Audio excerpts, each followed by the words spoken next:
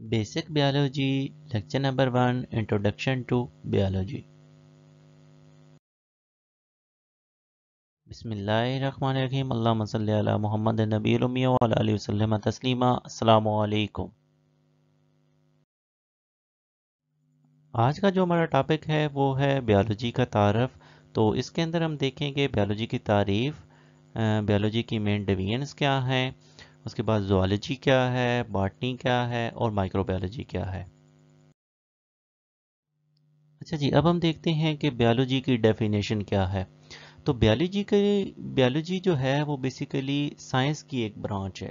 یہ سائنس کی وہ برانچ ہے جس کے اندر ہم لیونگ آرگنزم یعنی جاندار چیزوں کے بارے میں، ان کے مختلف پہلوؤں کے بارے میں ہم سٹڈی کرتے ہیں۔ تو بیالوجی بذات خود جو ہے بیسیکلی دو یونانی لفظوں کا مجموعہ ہے۔ ان میں ایک بایوس ہے، جس کا مطلب لیونگ ہے، اور لوگس دوسرا ہے، جس کا مطلب ہے تھاٹس ریزننگ یعنی سوچنا، اس کے بارے میں سٹڈی کرنا۔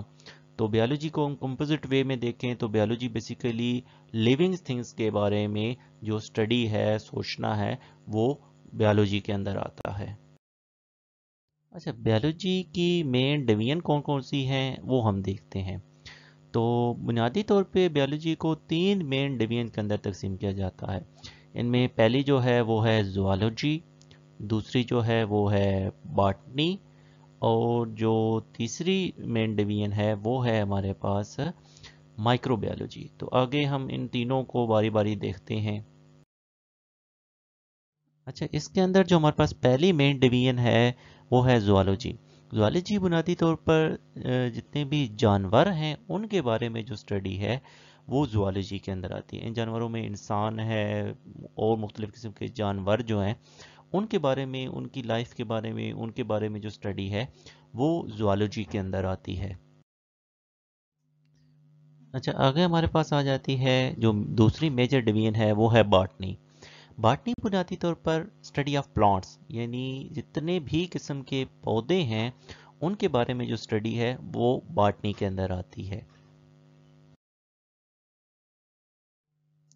اچھا اس کے بعد جو تیسری اور آخری میجر ڈویژن ہے وہ ہے ہمارے پاس مائکرو بیالوجی مائکرو بیالوجی کے اندر ہم اسٹڈی آف مائکرو آرگنزمس کرتے ہیں. یعنی جتنے بھی خوردبینی جاندار ہیں، ان کے بارے میں جو اسٹڈی ہے، وہ مائکرو بیالوجی کے اندر آتی ہے.